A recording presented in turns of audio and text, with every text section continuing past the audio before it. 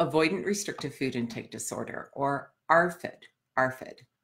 Well, this disorder is essentially another feeding disorder. It's another description, really, for feeding disorders. The basic criteria, we're going to go over that in a second, really has no age limit or um, early onset. It's more that it is now in the category of eating disorders in the DSM 5. And I think that's what makes it very confusing. First of all, the DSM 5 is something that we think about more from oh gosh, a psychosocial point of view. It's it's often where we look into mental health issues, etc.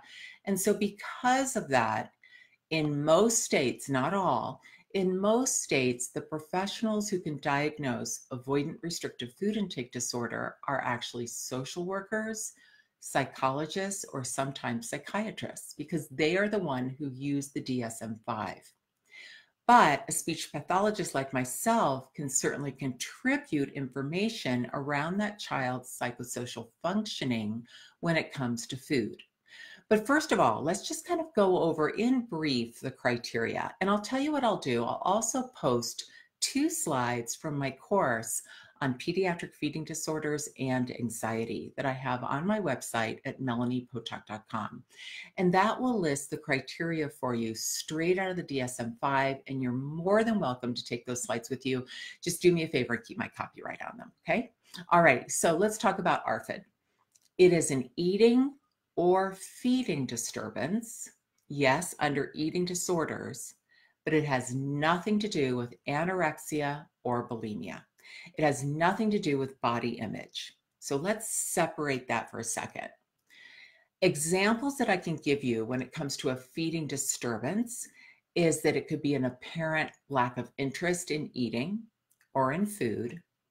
That could be so many of our clients in feeding therapy. It's also an avoidance based on the sensory characteristics of food. It could be that. So many of our clients, right? but it's also a concern about aversive consequences that may occur after eating or during eating. In other words, I might choke or um, it might taste really bad. A lot of our kids experience that.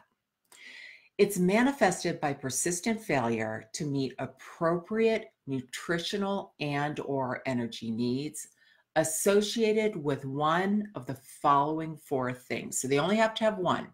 The first one is significant weight loss or failure to achieve expected weight gain or growth. Okay. The second one is a significant nutritional deficiency.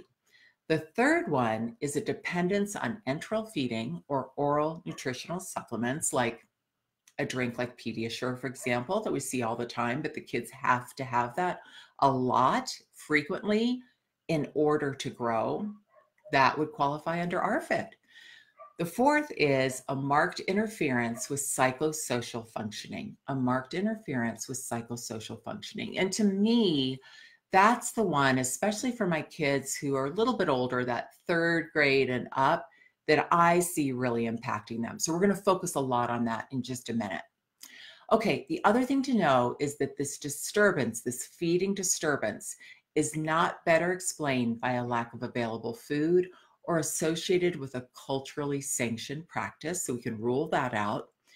Also, the eating disturbance does not occur exclusively during anorexia or bulimia. We've always already talked about that, so we can rule that out. And the eating disturbance is attributable is not attributable to a concurrent medical condition. Let's take a look at that. If you've ever watched my Mondays with Coach Mel before, you've ever been to any of my courses, probably every single course I teach, I start by talking about my stacking model. And I know many of you heard me talk about this before, so I'm going to be pretty quick here, but I just want to make sure new listeners understand. Whenever a family says to me, How did I end up with a kid who can't eat like more than three foods? How did this happen? Well, I want you to imagine three blocks stacked on top of each other. That first block, that's physiology. That's how your body functions. And just by going through the criteria for ARFID, we just took a look at several different possibilities where physiology or how your body functions might go awry, right? Well, I have a lot of kids on my caseload who have avoidant restrictive food intake disorder, but it started from a peanut allergy. It started because they were severe picky eaters when they were little and they never grew out of it. Um, it started from a choking episode. I have a little kiddo like that who choked on a peppermint when he was in the car seat. And here we are four years later, still scared to eat new foods. The other thing we want to consider is not only that physiology stack that we just talked about, and that's going to include emotions and anxiety and sensory processing, et cetera, et cetera, as well as the physiology of our whole body. The second block are motor skills. Well, think about my little pumpkin right now who choked on a peppermint. And now that kiddo only eats like four foods and they're all soft, squishable foods. He has really weak musculature in his um, around his jaw especially but throughout his face because he never got the crunchy foods that we need to build those muscles so i've got some oral motor work to work on with that little kiddo but he's still, still, excuse me, scared to death to try new food. Finally, that brings us to the third block, or the roof on the building, I will say. And those are learned behaviors. Those are the behaviors that kids do in order to protect their body from one of the other issues like physiology, sensory uh, sensitivities, et cetera, et cetera, that make them feel so uncomfortable. But let's say that those issues like my little client who has a severe peanut allergy are resolved. You know she hasn't been exposed to peanut in years. She's never had a reaction since then because she's not around peanuts. So how come she doesn't want to try new foods? Well it's because of that marked interference with psychosocial functioning. So that's what we're going to focus on for the next few minutes okay? What we're talking about there is the a word an avoidant restrictive food intake disorder. We're talking about avoidance, avoidance. So when these kids just try their very best to avoid certain foods, it doesn't mean that they don't really want to learn to like new foods. They would love to be able to eat something other than just pizza crust at the local slumber party, right? The neighborhood slumber party, they're ordering all this pizza, and these poor little kids are like, Well, I'll eat the crust and that's all they'll, they'll eat. They genuinely want to be able to eat pizza, but they're just too anxious to do so and they don't know the steps to go about it. And that's where feeding therapy comes in. Okay, so if this child is the one issue is this interference with psychosocial functioning, right? Where they they can't go out and about, they can't go to the prom because they only eat chicken nuggets because they can't go to a fancy dinner. Um, they only eat one meal at school. They can't go on uh, a lot of field trips because maybe they aren't allowed that food on the field trip, or maybe everyone's going to be eating out. You can't bring that food with you. They can't get together with friends because they're scared that the friend's mom and dad might offer food that they can't eat and they're too embarrassed to admit that, et cetera, et cetera, et cetera. You can see where these kids, it really starts to impact their social life and their psychosocial functioning. Well, the thing is, what they still do is avoid, avoid, avoid avoidant restrictive food intake disorder. And they avoid because of this high level of anxiety they have around food.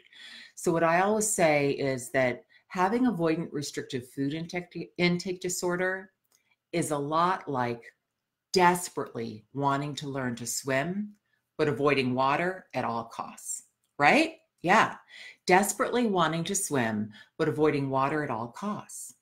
So, our job in feeding therapy is not only to address those three stacks that we talked about and make sure that we get everything as normalized, we say, as possible, but also to help that child learn to trust us and have the confidence to go through very subtle baby steps to learn to try a bunch of new foods.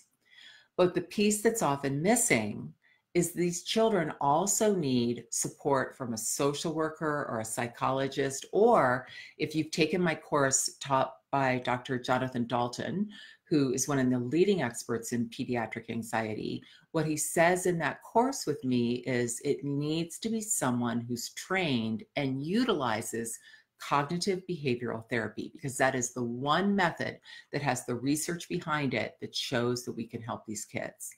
So not only can they be in feeding therapy because we know how to teach kids the process of eating and how to build confidence and chain foods together. A psychologist doesn't necessarily know how to do that, but a psychologist can work on the anxiety piece. And in my personal opinion and professional, just from years of doing this, almost all of my kids diagnosed with avoidant restrictive food intake disorder who are like second grade and up also have an anxiety disorder also have an anxiety disorder. And that's just based on my experience. I don't have any research behind that.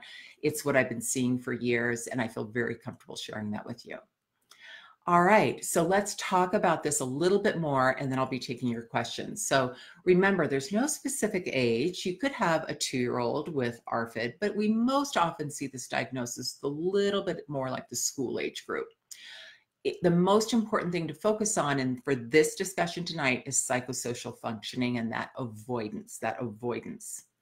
Now, what I often see is that the kids start to get better and we start to get, oh, I don't know, five, ten, maybe 15 new foods in place. And then without fail, they dig in their heels. And you know why they do that? Because they realize they're getting better. And getting better is not where their comfort zone is. Their whole life has been about being an extreme picky eater and being stuck in this little box.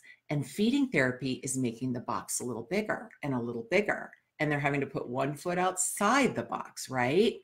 That is really scary. Now they're out of their safe zone. So when they begin to realize that they're capable and that they are going to eat new foods, and darn it, they actually like these foods, that is frightening for these kids. So don't worry when you see them dig in their heels and you think, oh my gosh, this isn't working. No, no, no. That's a sign that it's actually working. And they're just going to need a gentle push to keep going, a gentle push to keep going.